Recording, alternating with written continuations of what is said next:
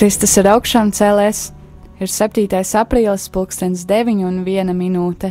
Studijās mēs vēlts skolmesteri un kā katru rītu pēdējā laikā man pievienojies priesteris Pēteris Skudra uz rīta katehēzi. Jā, uh, patiesi augšām cēlies un uh, turpinam lasīt pāvesta Franciska encikliku Laudātus Sīkuru viņš velta uh, dabas un vides jautājumiem un par to, ko mēs varam darīt, risinot šos jautājumus, kādi ir kristiešu pienākumi, katoļu pienākumi šajos jautājumos, un vakar iesākām lasīt šī, šīs enciklikas pirmo nodaļu, un šodien turpinām to darīt, vakar runājām par uh, piesārņojumu, par eh, gaisa piesārņojumu, par atkritumiem, par veidiem, kā šo lietu varētu risināt. Tiksim, tā pāvis šo pirmo nodaļu velta tam, lai vispār secinātu, kāda tad ir tā situācija, balstoties uz zinātniskiem pētījumiem, balstoties uz zinātnieku novērojumiem un secinājumiem. Un vakar arī uh, pārunājām šo pāvesta tādu iecienīto terminu izmešanas kultūra, ka lielā mērā mūsu šī attieksme ikdienā, viņa arī ietekmē mūsu izvēles tādos jau nozīmīgākos jautājumos, ka mēs ikdienā iemācāmies to, kas ir tāds nevajadzīgs vai apnicis izsviest ārā un pirkt jaunu, un ka caur šādiem maziem žestiem mēs arī iemācāmies vai pierodam un nepamanam, ka šādu attieksmi mēs arī uh, izmantojam un jā, parādam pret daudz vērtīgākām, uh, daudz vērtīgākās dzīves situācijās, kā piemēram pret citiem cilvēkiem. Kad cilvēki mums kļūst nērti vai jā, mums sāk palikt grūti veidot ar viņiem attiecības, mēs vienkārši no viņiem atsakamies, mēs no viņiem novēršamies. Un uh, tāpēc arī pāvests norāda šo kā vienu no saknēm šim uh, piesārņojumam, kas ir dabā, un uh, kur mēs esam aicināti uh, pārmainīt savas sirdis un savas attieksmes. Uh, šodien uh, turpinam lasīt uh, tālāk šo encikliku, kurā ir uh, apskatīts uh, klimata jautājums, kur uh, pāvests uh, šo tādu uh, sadaļu nosauc klimats kopējais labums, jo klimats ir uh, kaut kas tāds, kas uh, pieder visiem un kas ir arī domāts visiem. Un uh, pāvests arī secina, ka zinātnē ir vienprātība par to, ka sasilšana, šī globālā sasilšana ir problēma, ka, kas arī ietekmē daudzas cit, daudzus citus procesus mūsu pasaulē, mūsu planētā, kā piemēram paaugstināts jūras līmenis vai tādi nepieredzēti uh, laikapstākļi, kas varbūt iepriekš nav pieredzēti, nu, kaut kādas dabas um, katastrofas, kas nav pieredzētas iepriekš tik lielos apmēros, kā tas ir šodien. Un, uh, es gan pats esmu redzējis uh, teiksim, zinātnieku vidū kaut kādos populāri zinātniskos laikrakstos, kas starp zinātniekiem tomēr ir tāda diskusija par to, vai cik daudz cilvēks ietekmē šo, uh, tiešām ietekmē šo globālo sasilšanu, jo, uh, kā arī mums, ja nemaldos, pirmdien uh, kāds atsūtīja īziņu, ka tomēr tas ir dabā noticis vienmēr, ka šīs temperatūras svārstības te uz augšu, te uz leju, tomēr uh, Nu, pāvests, pāvests vairāk tiecās piekrist tiem zinātniekiem, kas saka, ka lielā mērā tā arī ir cilvēku uh, darbība, kas ietekmē šo sasilšanu, ka tā nav tikai tāda dabiska temperatūras svārstība, bet ka te arī klāt nāk cilvēka uh, rīcības sekas. Un uh, tāpēc pāvests vēlreiz izsaka šo aicinājumu uz dzīves stila maiņu, uh, kas arī uh, ietekmētu mūsu raz, ražošanu un patēriņu, uh, kas lielā mērā arī uh, izraisa šo uh, piesārņojumu dabā, uh, piemēram, dažādas gāzes, kas tiek, uh, kas nonāk atmosfērā uh, mūsu kaut vai, kad mēs braucam šo fo intensīvā fosīla izmantošana, nafta un citas lietas un paaugstinātais oglekļa daudzums gaisā un, un, un citu vielu daudzums, kuram normāli nevajadzētu būt tik intensīvam. Un, protams, ir arī citi faktori, kas ietekmē šo vielu nonākšanu, kaut vai, piemēram, vulkāniskā aktivitāte, bet, protams, ka arī lielā mērā mums jāpārdomā cilvēkiem, cik mēs paši daudz izmantojam dažādas šīs vielas, kas paliek gaisā, kuras mēs pēc tam paši arī elpojam. Un, un starp citu, tas ir tiešām tāds arī objektīvs novērojums, ka apkārt lielām pilsētām ir redzams šis tāds saucamais smoks, ka gaiss ir tik ļoti piesārņots, ka to var gan arī vai ar aci redzēt, uh, cik apkārt šai pilsētā ir nu, gandrīz tāds kā mākonis. Un cilvēki, kas nāk, piemēram, no mazākām pilsētām, viņi nonākot šajās pilsētās, viņiem tiešām ir apgrūtināta elpošana, mēs varbūt dzīvojot, piemēram, šeit Rīgā vai tie, kas ir bijuši vēl lielākās pilsētās, ir pieraduši pie, pie šādas pie šāda piesārņojuma, bet uh, tie, kas nāk no tīrākas vidas, viņi ļoti spēcīgi izjūtu. Starp citu, es pats uh, biju to novērojis, ja kādreiz, uh, piemēram, gāju skriet, man nebija problēma skriet, piemēram, pa Rīgas tiltiem, vai ne, tur pa vienu tiltu uzskrien augšā, pa otru skrien atpakaļ, tad, kad es nodzīvoju gadu, nu, salīdzinoši mazā, mazā pilsētā, Un, kad es pēc tā gada atgriezos Rīgā, tad ejot pāri tam pašam tiltam, kuram es kādreiz aktīvi skrēju pāri, tad es tiešām jūtu šo atšķirību. Un uh, tas ir, uh, jā, tas nav vienkārši tāds uh, dabas fenomens, vai ne, jo tas ir tiešām tā skaidri redzams, ka tas ir cilvēku uh, darbības rezultāts. Uh, turpināsim runāt par uh, klimata pārmaiņām un par mūsu pienākumiem un mūsu ieguldījumu, mūsu teiksim, attieksmes maiņu pret klimatu pēc dziesmas.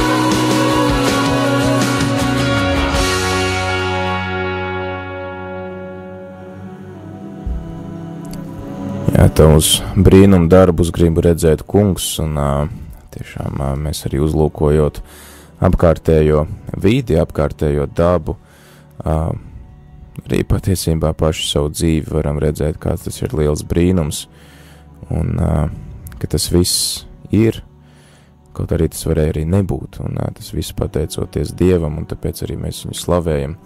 Un slavējam kopā ar Svēto Francisku, kas slavēja Dievu par uh, māti zemi, un uh, slavējam kopā ar pāvestu Francisku, kurš uh, turpina šo slavas dziesmu Dievam un aicina rūpēties par uh, šo skaistumu, kas mums liecina par Dieva skaistumu un Dieva varenību. Un šodien runājam par klimatu, kas ir kopējais labums mums visiem un par tātad šiem klimata, klimata saudzēšanu.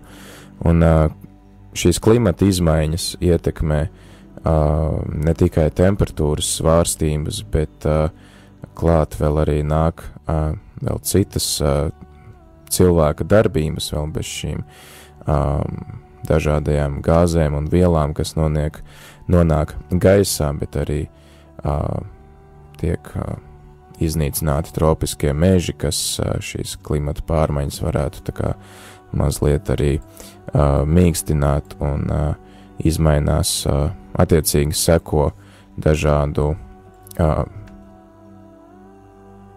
polāro ledu kušana, kas ir uh, ziemeļos un dienvidos, kas uh, paaugstina šie uh, jūras līmeni, uh, tāpat tās arī uh, tiek uh, ietekmēta vide, sociālie, ekonomiskie, politiskie apstākļi, jo mainoties šiem vides apstākļiem, mainās arī visa šī dzīvā radība. Pāvests min tādu piemēru, ka, piemēram, kaut kādas šīs globālās sasilšanas rezultātā kādā vietā dzīvnieki un augi ir spiesti uh, emigrēt no šīs vietas, jo viņi vairs tur nespēja saņemt pietiekami daudz barības vielas, un līdz ar to arī daudzi uh, nabadzīgi cilvēki, kas ir atkarīgi no šiem, uh, teiksim, no šiem uh, augiem un, un uh, dzīvniekiem, viņi arī ir spiesti tad pamest savas mājas, jo viņi dzīvojot šajā, teiksim, nabadzīgajās šajās vietās, viņi vairs nespēja parūpēties par savu iztiku, un pāvests saka, ka diemžēl šādu emigrāciju sabiedriskā vai, teiksim, starptautiskā sabiedrība neuzskata, piemēram, kā bēgļus, jo, jā, nu, viņus it kā neapdraud tādas acīm redzamas varbūt uzreiz lietas kā karš, kā tas ir varbūt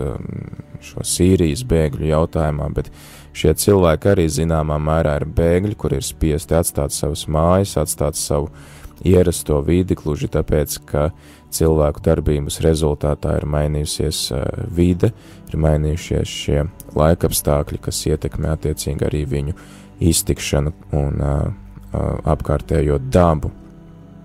Un uh, Jā, tad pāvests uh, aicina nebūt vienaldzīgiem pret šādām ciešanām, un uh, viņš aicina arī uh, pārdomāt par uh, citu cilvēku atbildību, par savu atbildību uh, pret šiem brāļiem un māsām, kuri piedzīvo šādas uh, ciešanas. Un, uh, jā, pāvests arī saka, protams, ir uh, arī kaut kādi mēģinājumi novērst uh, simptomus, uh, vai dažas kādas problēmas risināt, bet pāvests saka, ka ar to nav gana. Viņš saka, ir, ir jārūpējās par visu dabu vienotā veselumā, kas arī pirmdien vai otrdien, ne pirmdien, mēs laikam pārdomājam to, ka tieši arī pāvests, atsaucoties pāvestu Benediktu, viņš citē, ka šie, šie jautājumi ir jāskata vienā veselumā, mēs nevaram vienu kādu dabas problēmu ņemt atsevišķi un mēģināt to risināt, bet tas ir tāds, tāds komplekss, kas ir jāņem vesels. Un uh, pāvests tāpēc arī izsaucās, ka mēs esam aicināti samazināt noplūdes gāzes, un jo drīzāk, jo labāk, un tiešām vairāk pārdomāt uh, par atjaunojamas enerģijas izmantošanu un meklēt šos veidus, kā uh, izmantot atjaunojumu enerģiju, nevis to, kas noārdās un neatjaunojās, un līdz ar to cieš apkārtējā daba.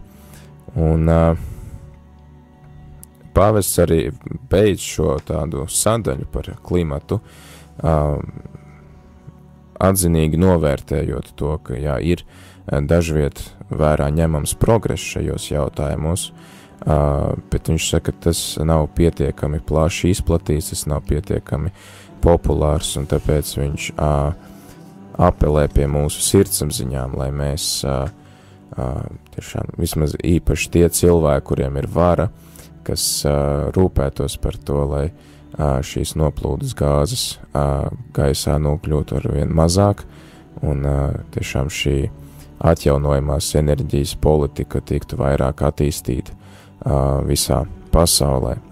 Protams, uh, te mēs atkal varam skatīties tā no malas uz visiem tiem, kuriem ir vara, uz visiem tiem, kuri, uh, kuri arī jā, ir kaut kādi zinātnieki vai politiķi, kas var šīs lietas darīt, bet es domāju, ka šeit arī katrs pats mēs varam izdarīt tādu sirdsapziņas izmeklēšanu, kāda ir mana attieksme pret pret klimatu, kāda ir mana attieksme pret gaisu, ja tā var teikt, un kaut vai tas, cik daudz es lietoju dažādus šos kaut kādus pūšamos flakonus, dezodorantus vai tolešu atsvaidzinātājus, kas tāpat to gaisu ietekmē, un labi, es varbūt to daru ļoti mazos daudzumos, bet tik un tā ir, cik daudz cilvēku, to lieto, kad reizē tiek tas viss izpūsts gaisā, tad cik daudz dažādas vielas uh, nonāk gaisā un cik tas var arī ietekmēt mūsu pašus patiesībā, kas pēc tam to visu elpojam. Uh, tik daudz par uh, šo pāvesta Franciska, pāvesta Franciska novērojumiem par klimatu, kas ir kopējais labums, bet es vēlos arī mēģināt vēl saprast, ko nozīmē šis kopējais labums, jo tas ir tāds termins, ko mēs bieži dzirdam. Par to runāja pāvests Jānis Pāvils II, kad mēs lasījām šo dokumentu par kristiešiem pasaulē. Tagad, lasot šo dokumentu, mēs atkal ik pa laikam dzirdam šo terminu kopējais labums, runājot par dabu, runājot par klimatu, tad es domāju, ir vērts iedziļināties šajā jautājumā, ko baznīca saprot ar vārdiem kopējais labums, bet par to pēc dziesmas.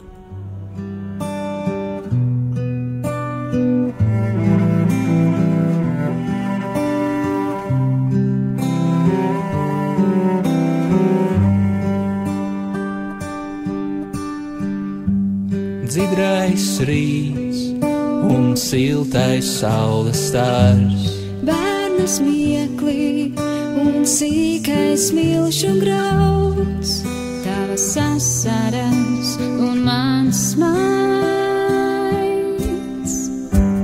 Lietus lāse un zvaigzne krītošā, roze zieds un jūra saulētā.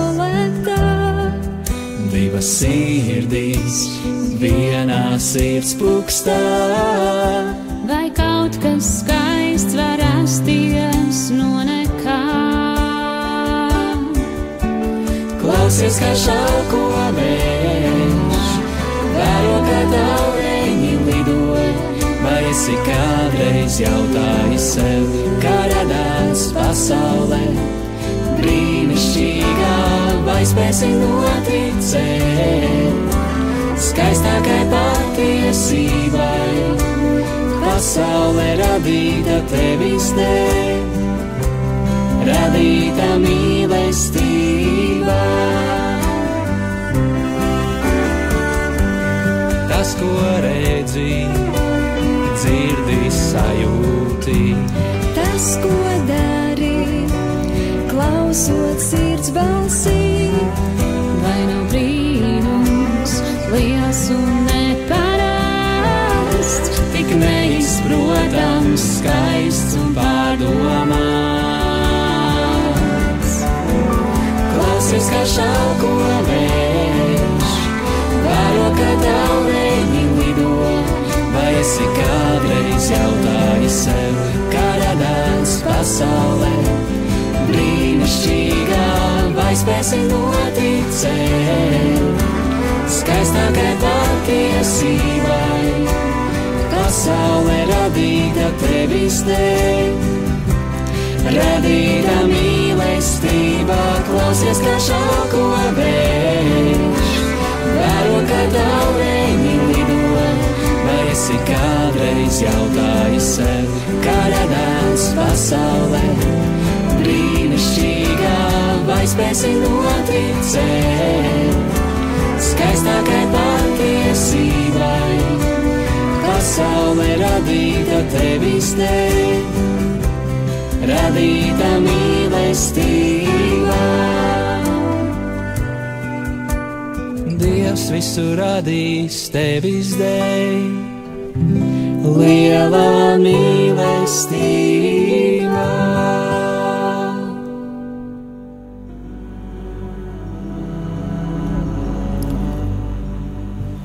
Ja jūs klausāties Radio Marija Latviju un kopā ar jums šeit ēterā ir priesteris Pēteris Skudru un man arī citīgi klausās Velta.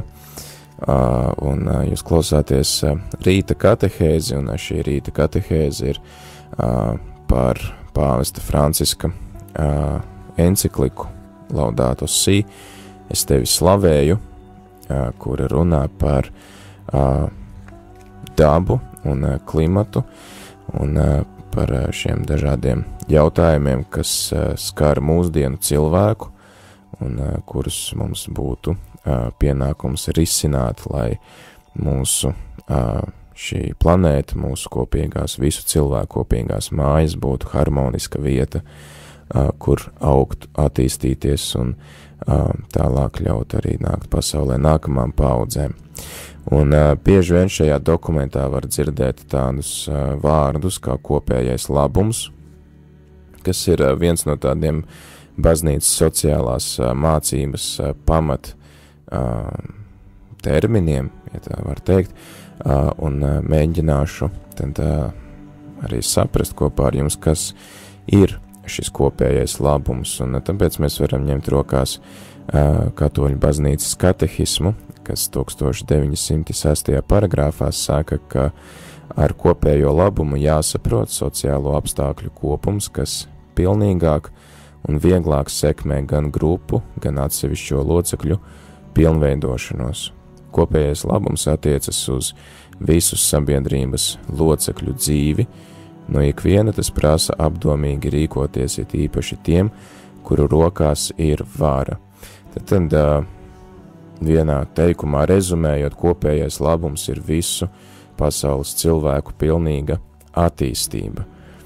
Un uh, kopējais labums tas nav uh, vienkārši kaut kādas uh, kopīgas intereses, bet uh, gan uh, šīs uh, intereses tiek novērtētas un uh, tās tiek integrētas visas sabiedrības dzīvē, balstoties uz sabalansētu vērtību hierarhiju. Tas nozīmē, ka mums pašiem ir jāizvērtē visas šīs nu, mūsu intereses, un attiecīgi arī ir jāizvērtē, cik tās ir atbilstošas mums pašiem, un cik tās ir atbilstošas citiem. Un te arī ir tā nu, līdzatbildība vienam par otru, ka manas izvēles ietekmē arī uh, citus cilvēkus. Un uh, par kopējo labumu runāts arī tiek tāpēc, ka, kā mēs arī vispār baznīcā novērojam, ka cilvēks var tā patiesi uh, sevi realizēt tikai kopienā, nekā izolēts indivīds. Un uh, tāpēc arī ir nepieciešama kopiena, lai mēs varētu sasniegt uh, dažādus labumus un tos baudīt, un uh, arī dalīties šajos labumos kas, uz ko mūs aicina arī pats Dievs, ka viņš aicina, viņš būdams mīlestība, viņš pats arī aicina mūs tālāk dalīties ar to, ko mēs saņemam. Un kopējo labumu raksturo trīs pamatelementi. Pirmkārt, tā ir cieņa pret personu kā tādu, um, tiek respektētas cilvēku pamattiesības, tad uh, otrs uh, pamatelements ir uh, sabiedriskā labklājība un attīstība, uh, Tātad katram cilvēkam nodrošināt to, kas ir patiesi nepieciešams - barība, apģērbs, veselība, darbs, izglītība, kultūra, informācija, tiesības di dibināt ģimeni un tā tālāk, kas ir ārkārtīgi, kas ir paši paši pamati un īstenībā ārkārtīgi nepieciešami katram cilvēkam, un, diemžēl, ir daudz cilvēku, kas vēl nesaņem šīs pamat lietas. Un trešā, trešais elements, kas raksturo kopējo labumu, ir miers un drošība. Un, jā, par šiem pamat, pamat elementiem, par šiem katra cilvēka tādām pamat vajadzībām, kuras es uzskaitīju iepriekš, ļoti interesanti izsakās Velsas un Anglijas bīskapu konference, kuri raksturo kopējo labumu, uh, ar tādu piemēru, ka kopējais labums ir kā visu dažādu šo saskaitāmo summa, kur katrs saskaitāmais ir nulle, un tad, tad visus saskaitāmos saliekot kopā joprojām ir nulle, bet tikko kā kādam ir atņemts visnepieciešamākais, tā kopējais labums jau ir iedragāts. Tas nozīmē, ka ja vienam cilvēkam ir at, atņemta iespēja saņemt šīs, šīs pamatlietas, kas būtu barība, vai apģērbs, vai veselība, vai darbs, vai izglītība, vai kultūra un tā tālāk, kad līdz ar to cieši arī visa sabiedrība kopumā, un tā ir jau ā, tāda netaisnīga ā, situācija pret visu sabiedrību, kaut arī liekas, ka tas ir tikai viens cilvēks, kurš ā, varbūt tās, ā, nu, kuru mēs nekad nesatiksim, un kur, kura dzīve mūs kaut kā neietekmē, bet te ir jā, šis aicinājums apzināties šo mūsu visu ciešo saikni un miedarbību. Un vēl tā, ko mēs varam atrast katehismā par šo kopējo labumu, ir tāda interesanta doma, ka Tas neizslēdz arī, protams, katra cilvēka personīgo labumu, katra cilvēka personīgās intereses, gal galā arī viņa personīgo īpašumu, bet ar vienmēr ir šis atgādinājums, ka tas viss ir cieši arī saistīts ar citiem cilvēkiem, un uh, mums ir pienākums aizstāvēt un sargāt šo kopējo labumu un apzināties to, ka tās spējas vai tie īpašumi, kas mums ir doti, kā arī tie mums ir doti kā tādiem pārvaldniekiem, ka līdz galam tas viss mums uh, nepiedara, jo nu, galu galā Dievs to mums dod uz kādu laiku, un tā, kad mēs nomirstam, mēs tāpat to nepaņemam līdzi. Bet šis īpašums, ko viņš mums dāvā, ka viņš mums to dod pārvaldīšanai, viņš saka, es tev uzticu uh, savu pasauli, kādu savu daļu, daļu savu īpašumu, lai tu to uh, attīstītu, lai tu to sargātu, lai tu to uh, kultivētu un tālāk nodotu citiem, lai arī citi varētu baudīt šos augļus. Un, mums var palīdzēt šo kopīgi, uh, kopējā labuma principu izprast pirmās vēstules korintiešiem 12. nodaļa, kur Pāvils viņš runā par dažādām harizmām, par dažādām svētā gara dāvanām, kas tiek dotas katram cilvēkam individuāli, bet katra no šīm dāvanām tiek dota, lai viņš uh, nu, celtu baznīcu, lai viņš stiprinātu baznīcu un, jā, lai tas būtu visas Um, baznīcas labumam. Un šo principu tad arī var pārcelt arī uz visu, visu pārējo, ko Dievs mums, Dievs mums dāvā, un arī, piemēram, vēršoties pie ražotājiem, katehisms arī saka, tad, lai tie, kas ražo, ļoti labi, jums ir talants, tiksim, atpazīt šīs te iespējas, ko piedāvā daba, ražot kādas preces vai, vai pakalpojumus, un tad attiecīgi arī šai ražošanai ir maksimāli, tiksim, šīs ražošanas augļi ir jādara arī maksimāli pieejami citiem cilvēkiem, un kas būtu, piemēram, darba vietas vai, nu, piemēram, nezinu, tagad izkrīt visi piemēri no galvas. Un, piemēram, tie, jā, kā, kā reiz tagad aktuāli šomēnes pāvesta lūkšana nodoms ir uh, šie te, mazie zemnieki vai nesīkzemnieki. Un attiecīgi šo viņu darba augļus Uh, tas kopējais labums tāds, ka cilvēks viņš iegulda savu darbu, viņš rūpējās par savu zemi, ko Dievs viņam ir devis īpašumā, viņš to kopj, uh, viņš audzē dažādas uh, au, jā, dārzeņus vai labību vai augļus, audzē lopus, un pateicoties šim viņa darbam iegūst visa sabiedrība, jo tālāk, pateicoties viņa rūpēm par šo dabu, mēs iegūstam to, ka ir sakopti lauki, sakopta vide, ja tas, protams, tiek darīts dabiskā veidā un netiek izmantotas kādas ķīmijas. Un līdz ar to arī iegūst citi cilvēki ar to, ka viņi var iegādāties veselīgu pārtiku.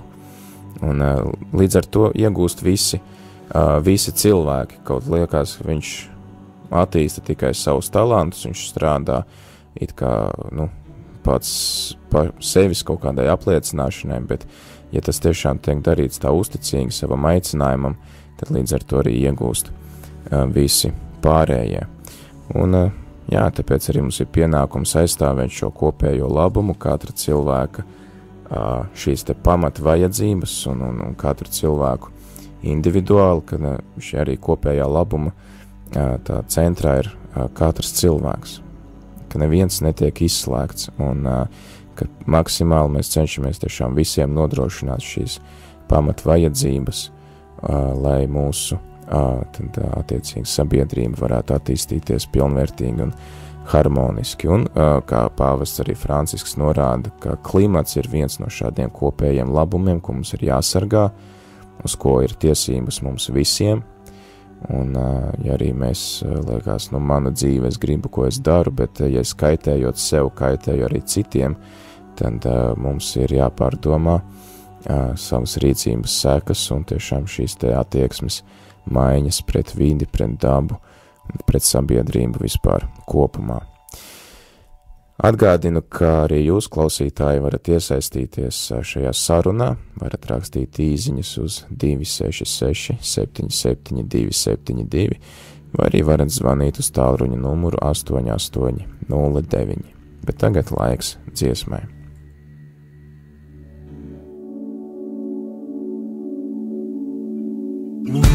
Your people come, and desperately to you we run, called by your great name.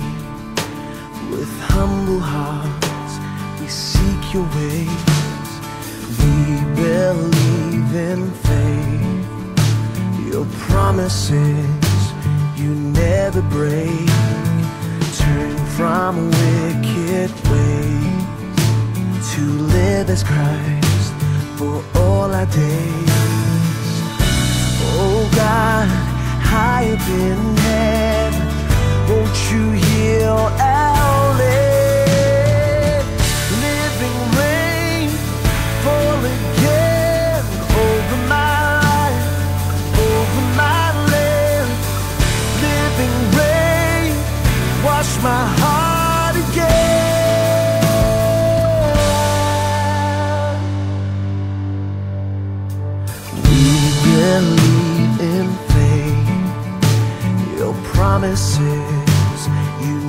never break.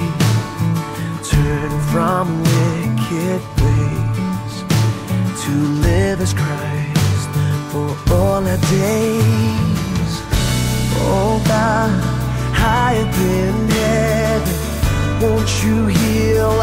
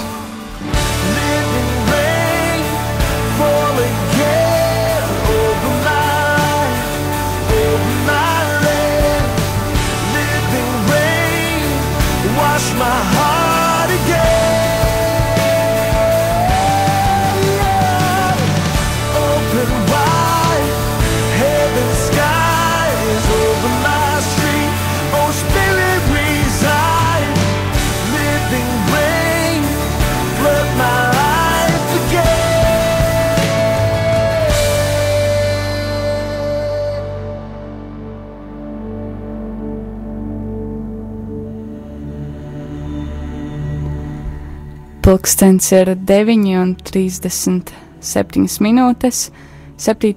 aprīlis. Darbie klausītāji, aicinam arī jūs izteikt komentārus, idejas, ierosinājumus saistībā ar šo tematu.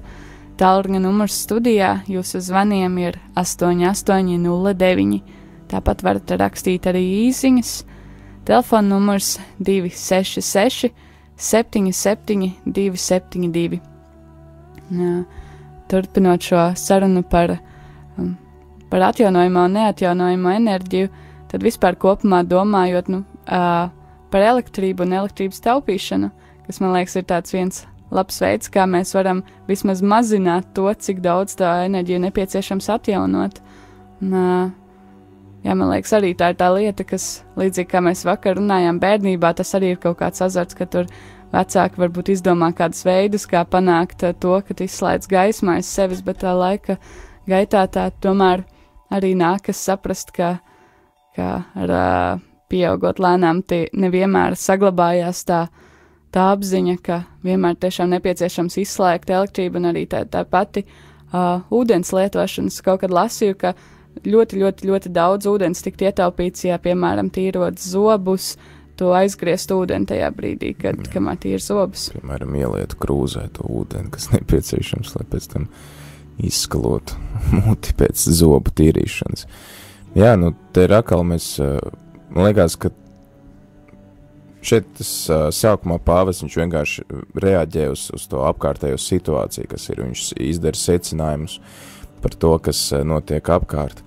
Un vēlāk mēs arī nākamajās nodaļās lasīsim par to, kāda var būt mūsu ticības atbilde tam visam un kāda var būt mūsu, kāda vispār var būt risinājumi šiem ekoloģiskajiem jautājumiem, bet jā, tas, ko tu saki, katram ir tā sirdsapziņa jāizmeklē pašam, vai ne, un katram tā ir katra paša, nu, sirds pārmaiņa. Un tas, uh, tas, ko mēs varam attiecināt uz visām dzīves situācijām, ka tad, ja katrs nolemj kaut ko mainīt, tad beigās saliekot to visu kopā, uh, mainās, uh, mainās visa sabiedrība un, un visa, visa, visa pasaule iegūst visa. Nu, līdz ar to arī daba ar to iegūst. Un, uh, jā, tas ir vērtīgi domāt ikdienā vienkārši par sevi, par citiem, kā es varu kaut ko ietaupīt, kā es varu kaut ko mainīt. Liekas, tas ir tik maz, vai ne pacelts, piemēram, papīrs uh, kaut kur pagalmā, bet tāpat laikā, nu, ja katrs to izdara, tad uh, viss paliek daudz, daudz tīrāks, daudz, daudz gaišāks. Un, uh, ja katrs aizgriež to krānu ciet un, un neiznieko ūdeni, līdz ar to to var lietot kāds cits, kam, kam tā ir, kam ir reāli trūkums. Nezinu arī tas, ka pēdējā laikā salīdzinoši biežāk nekā agrāk dažādi uzņēmumi ir rīkotās akcijas, kad uh, tiek stādīti koki, kas Jā, arī ir tāds kā maza lieta, kas nākotnē nes ļoti, ļoti lielu ieguldījumu. Vai tās pašas arī uh, talkas, vai ne, kad uh, cilvēki savācās visparasti pavasarī kopā, uh, lai, uh, lai vāktu atkritumus, un uh, kas arī īstenībā ir tāds zināmā mērā tāda rotaļa un spēle, jo es atceros, ka arī mēs ar ģimeni mēdzām piedalīties visi kopā talkās, un tas arī bija tāds, nu, zināmā mērā jautrs pasākums. Staigā pa to meža parku, tev izdalīti maisi, tu lasi tos atkritumus, un pēc tam ir tēja un, un, un, un, un, un kaut kāds maizītis, un, un cilvēki apkārt, un ir tāda, nu, tas arī tāds īstenībā nu, tāds sociāls pasākums ir, vai ne? Ka tu patiesībā iegūsti pēc tam kā, kā persona, kā cilvēks, kam ir nepieciešams komunicēt ar citiem. Tas ir tāds savu veidu komunikācijas veids. Ir. Es zinu, ka citās atkal vietās, piemēram, ir uh, kāpņu telpās dežūras, kurš dzīvoklis rūpējās, vai kurš stāvs rūpējās piemēram, par kāpņu telpas tīrību. Arī nu, tāds mazs žests, bet uh, kas to vidi padara nu, daudz patīkamāku.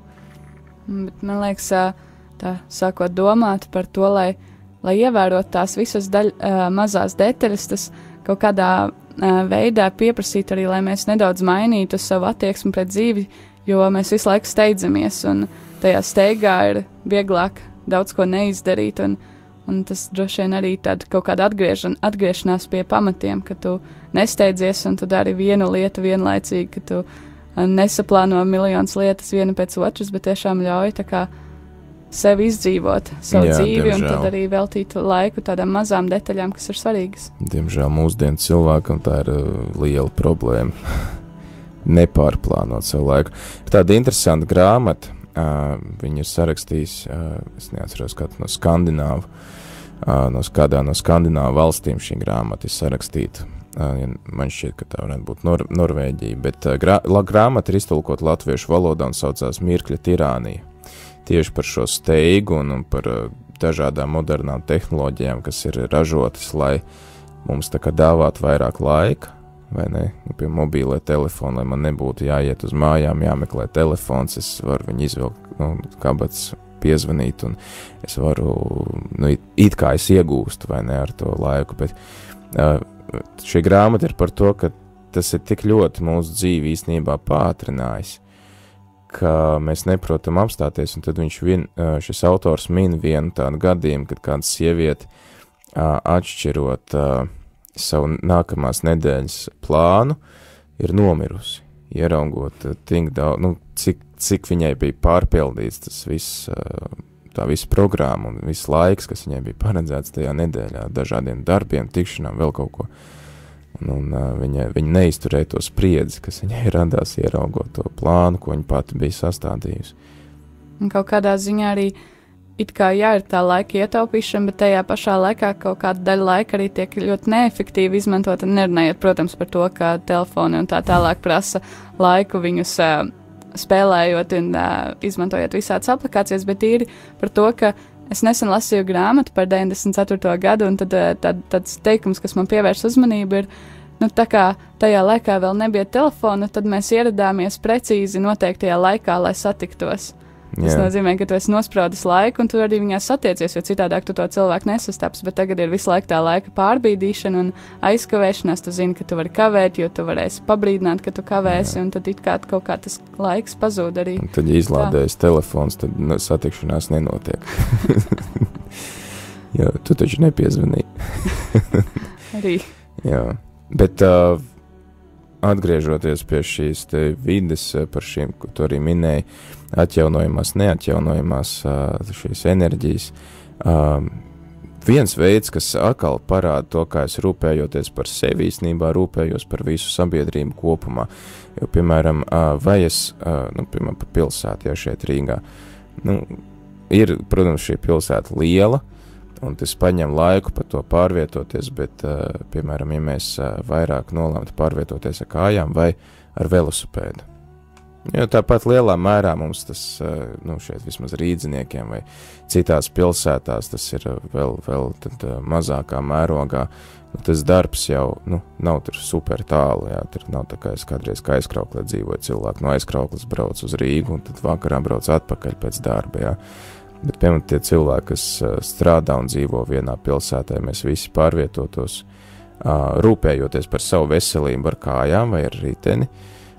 Līdz ar to iegūst arī visa sabiedrība kopumā, jo tad ir mazāk mašīnas, kas patērē,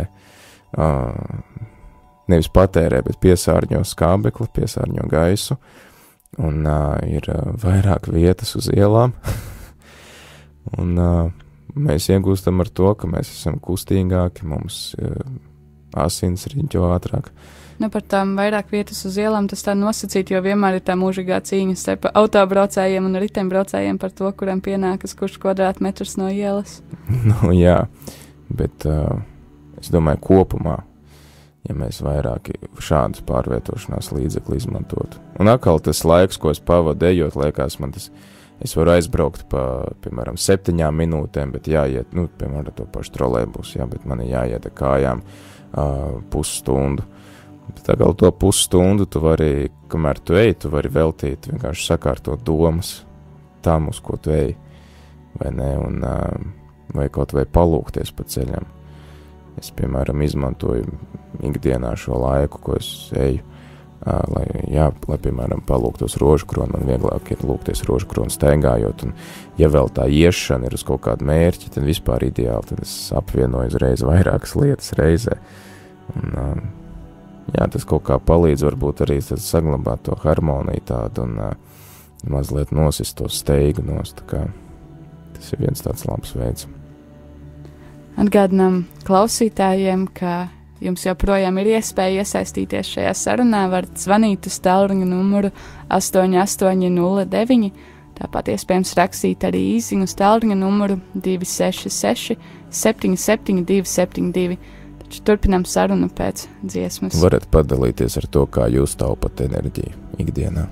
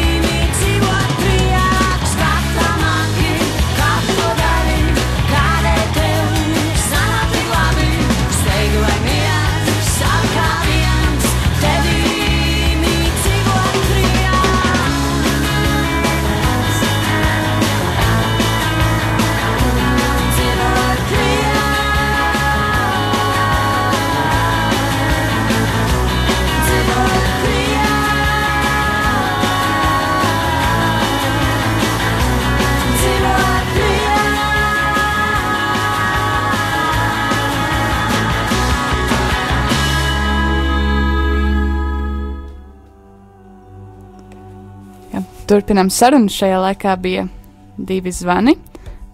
Viens no tiem uh, enerģijas taupīšana bija uztvērs ļoti burtiski par savas enerģijas taupīšanu. Jā. Un uh, Kaspars ar mums padalījās uh, par to, uh, ka, lai atjaunotu savu enerģiju, var uh, desmit minūtes vienkārši pasēdēt un atslēgties no visa un jā, atpūsties.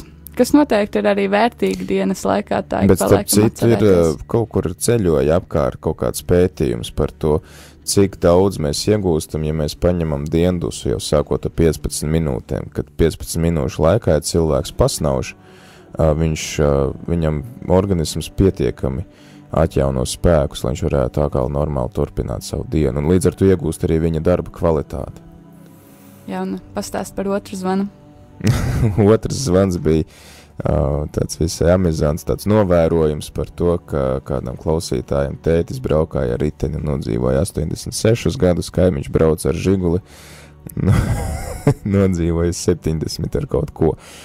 Bet, nu, jā, ir, ir dažādi, jā, dažādi iemesli, kāpēc mēs dzīvojam ilgāk vai uh, mazāk.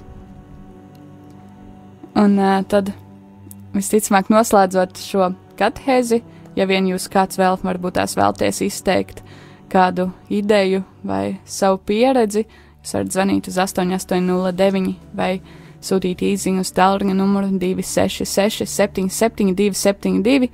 Mēs uh, nolasīsim sirdsapziņas izmeklēšanu, ko, ko gavēņa laikā bija sag sagatavojusi Katolis LV komanda, uh, izvērtējot konkrēti uh, tēmu par apkārtējo vidi.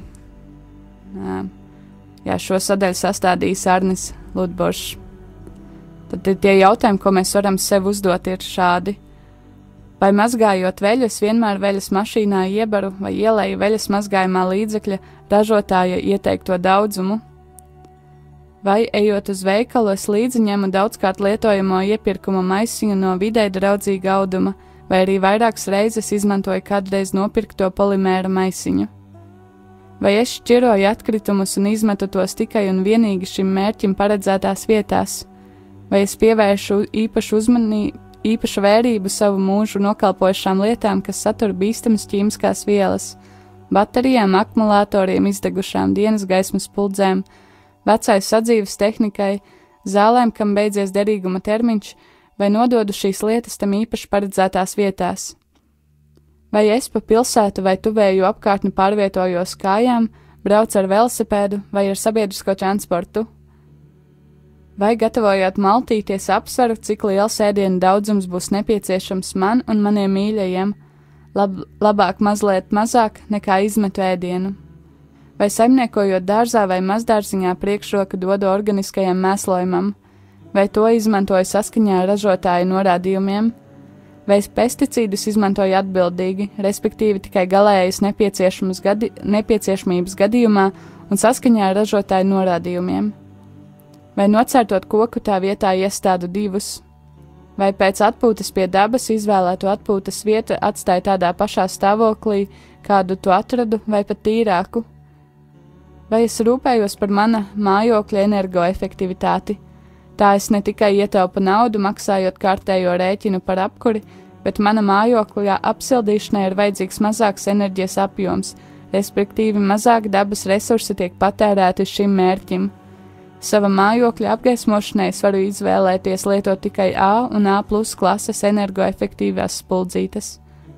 Vai es apzinos, ka sintētiskie gaisa atsvaidzinātāji piesārņo iekštelpa gaisu nevis uzlabotā kvalitāti? Labāk ir telpas izvēdināt un patīkamu aromātu tajās radīt ar apelsīna ezi, kuram adatu vietā saspraustas krustnegliņas vai lavandas eļļā samērcētu vates piciņu.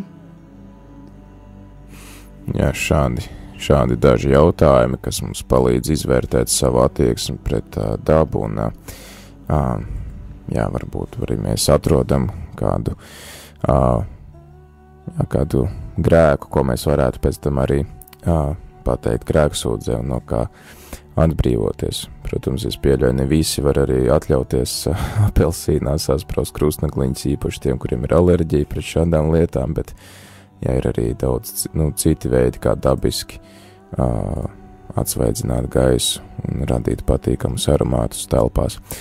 Uh, domāju, ka šodien jābeidz šī katehēze. Paldies uh, tiem, kuri piezvanīja un padalījās ar savām domām. Uh, pulkstens desmitos, kā parasti, mums būs litānija. Jā, paldies klausītājiem, paldies arī tev, Priester Pēteri, par katehēzi.